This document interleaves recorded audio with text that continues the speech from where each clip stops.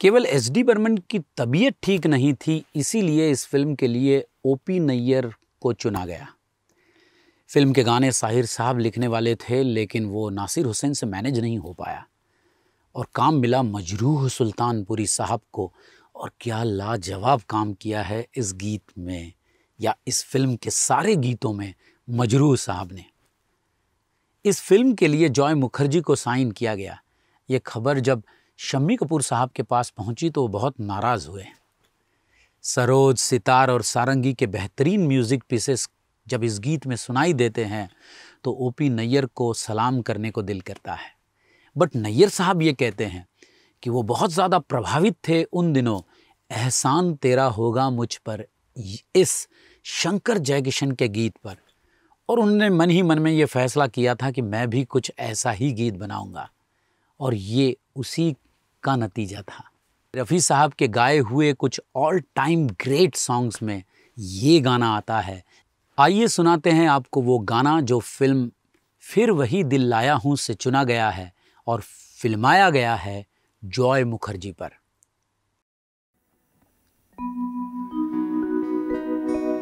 आ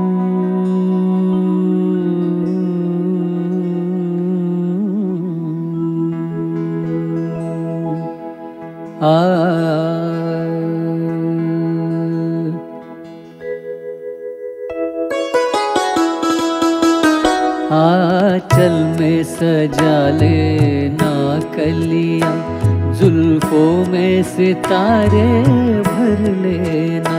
ऐसे ही कभी जब शाम ढले, तब याद हमें भी कर लेना।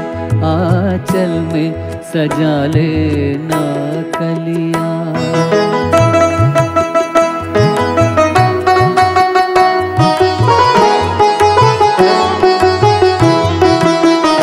आया था यहाँ पे गाना सा।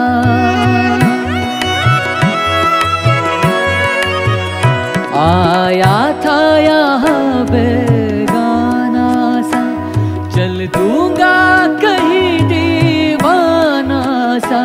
चल दूँगा कहीं दीवाना सा।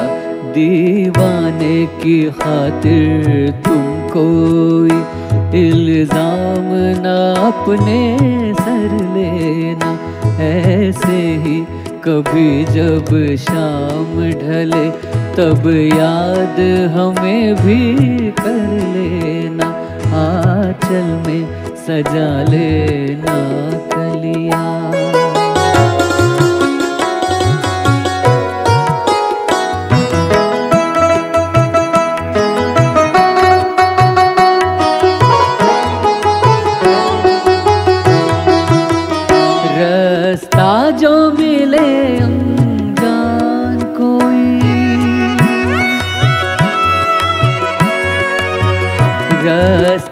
जो मिले अनजान कोई आ जाए अगर तूफ़ान कोई, आ जाए अगर तूफ़ान कोई, अपने को अकेला जान के तुम आँखों में नासू भर लेना, ऐसे ही कभी जब शाम ढले तब याद हमें भी कर लेना आंचल में सजा लेना